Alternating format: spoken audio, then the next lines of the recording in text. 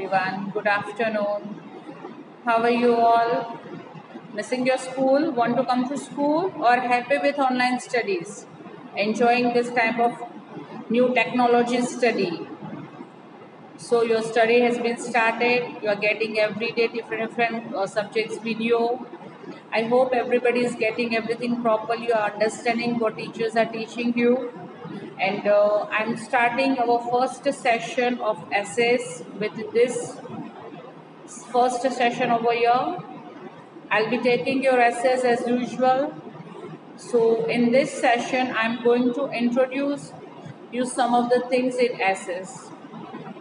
Uh, nobody is having a books right now, I know, but uh, you will get your books very soon. We'll give you information regarding books so in your WhatsApp group you have to collect book from that shop.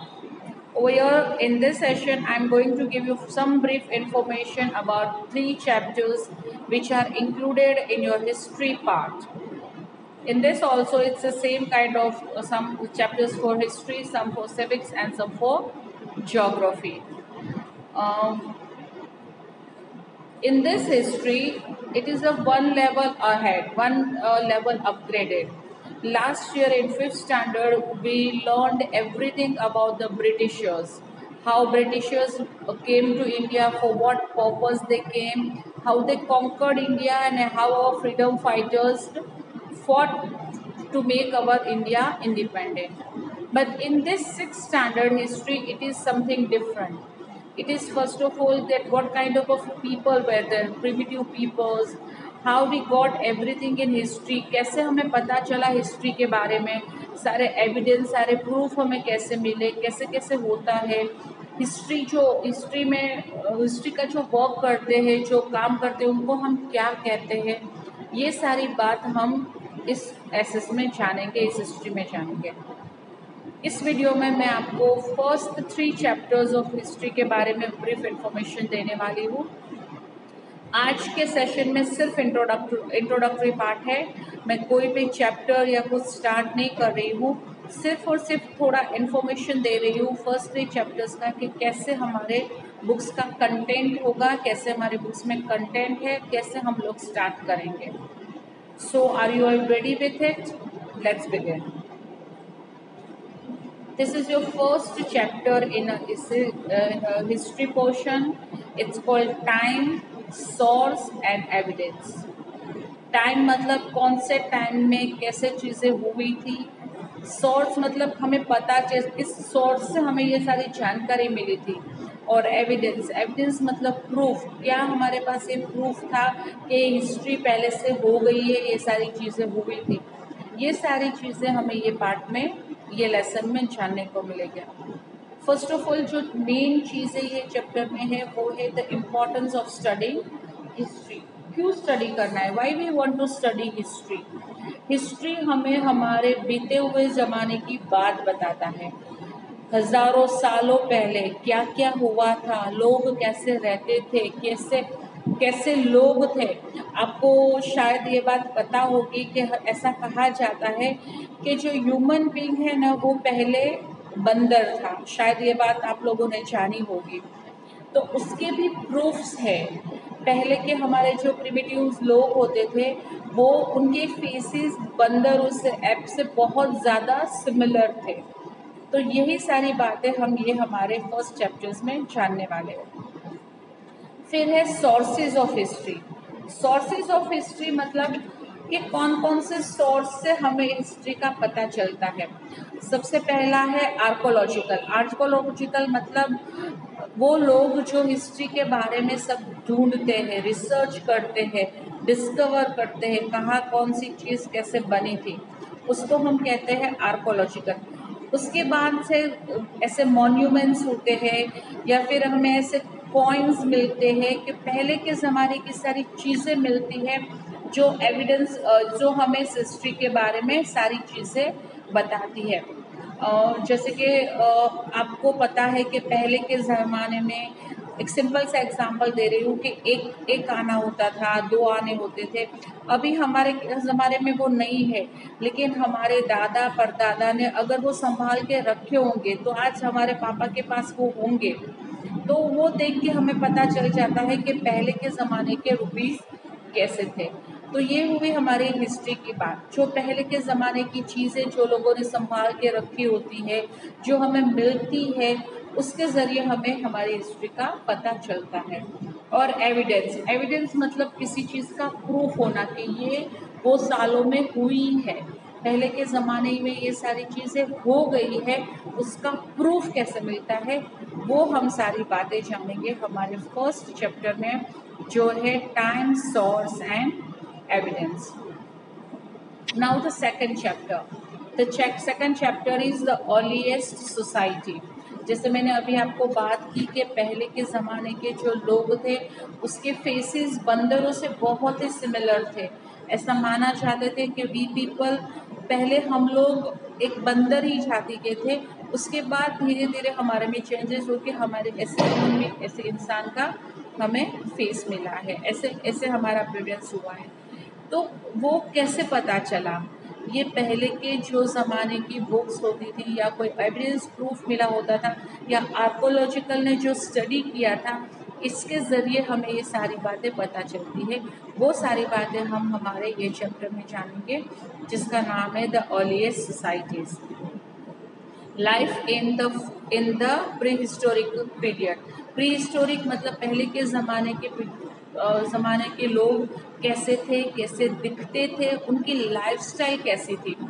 कुछ भी उनके पास source नहीं था, कुछ भी चीज़ें नहीं थी तो वो अपना खाना आपको पता है कि तब तो व्हील फायर किसी का डिस्कवर नहीं हुआ था तो वो कैसे करते थे, क्या खाना खाते थे, कैसे सब रहते थे, कैसे करते थे। एक पहले के ज़माने के लोग पूरा एक एक एनिमल की लाइफ जीते थे, ऐसा कह सकते हैं। तो वही हमें ये चैप्टर में पता चलने वाला है। Now introduction of stone tools and the use फिर धीरे धीरे धीरे उन लोगों ने सारे सोर्सेज का यूज़ कैसे करते हैं वो सीखा। सबसे पहले टूल्स से, कि टूल्स स्टोन से टूल्स कैसे बनाते हैं। टूल्स मतलब अलग अलग साधन। फिर उसका हम यूज़ कैसे करते हैं? उसको एज अ वेपन कैसे यूज़ करते हैं?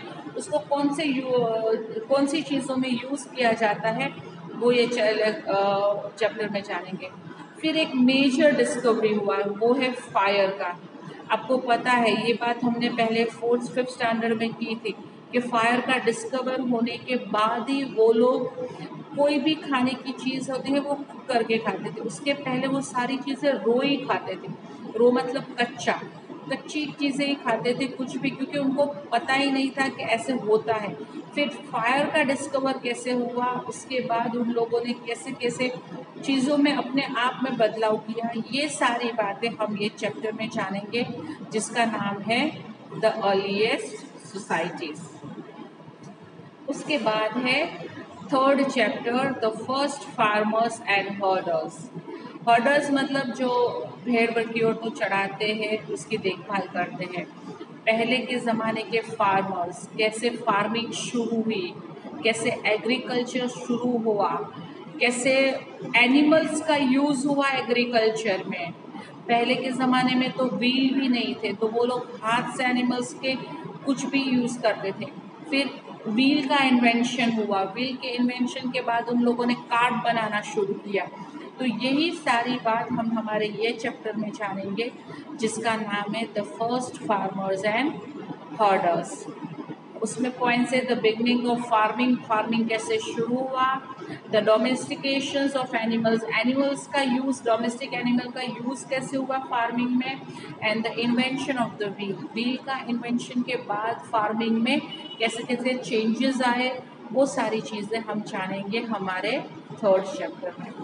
हमारी बुक में टोटल एस एस बुक में टोटल ट्वेंटी नाइन चैप्टर्स हैं। जैसे आपको बुक मिलेगी, आपको सारे चैप्टर्स की जानकारी मिल जाएगी। अभी तक, अभी बुक्स नहीं है तो हम कैसे स्टडी करेंगे?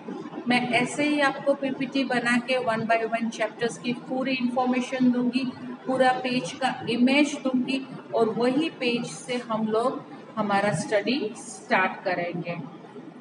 अब ये बात आती है कि टीचर आप स्टडी तो करवा लोगे, लेकिन इन बिटवीन अगर हमें कोई क्वेश्चन हुआ तो क्लास में तो क्या होता था कि वन ऑन वन कम्युनिकेशन होता था। अगर मैं समझाती थी, आप लोगों को नहीं पता होता था तो आप अपना रेज हैंड करके मुझे क्वेश्चंस पूछ लेते थे। अब यहाँ पे कैसे करेंगे? तो आपको क्या करना है? पूरा मेरा वीडियो पहले तो एक बार अच्छे से, एक दो बार देख लेना है।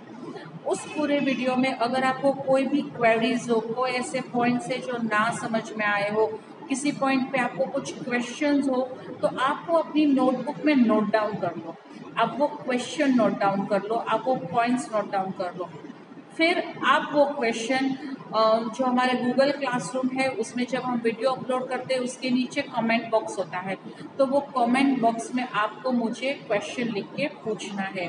आप उसमें भी पूछ सकते हो, या फिर आप व्हाट्सएप ग्रुप में भी पूछ सकते हैं, या आप मुझे पर्सनल मैसेज करके भी पूछ सकते हो। जितना हो पाएगा मैं आपको पूरी आपकी क्वेरीज को सॉल्व करने का ट्राई करूँगी। पूरे कोशिश करेंगे कि ऐसे ऑनलाइन स्टडी जैसे क्लासरूम में होता है, वैसे ही हम स्टडी करें। इनमें मुझे आपके साथ, मेरे साथ साथ मुझे आपका भी सपोर्ट चाहिए। आप अगर मेरे वीडियोस को अच्छे से देखेंगे, पढ़ेंगे तो ही आपको समझ में आएगा। तो आपको भी मुझे सपोर्ट करना है इसके लिए। आई होप यहाँ तक की बात क्लियर है। आज ये फ़र्स्ट वीडियो देखने के बाद भी आप मुझे गूगल क्लासरूम में जो कमेंट बॉक्स है, उसमें कमेंट करना कि टीचर हमने आपका वीडियो देख लिया है, समझ लिया है। तो मुझे पता चल जाएगा कि कौन कौन से स्टूडेंट्स ने मेरा वीडियो देख लिया है। हर एक बार वीडियो देखने के बाद आपको नीचे कमेंट बॉक्स में कमेंट करना है। या तो आप लिख सकते हो कि I have seen the video और या तो आपको कोई क्वेश्चन है तो आप वो कमेंट बॉक्स में पूछ सकते हो। I hope the queries is solve right now nothing is there कोई भी हो, हम ऐसे मिलते रहेंगे। I will get you very soon again till then bye take care of yourself have a nice day bye बेटा।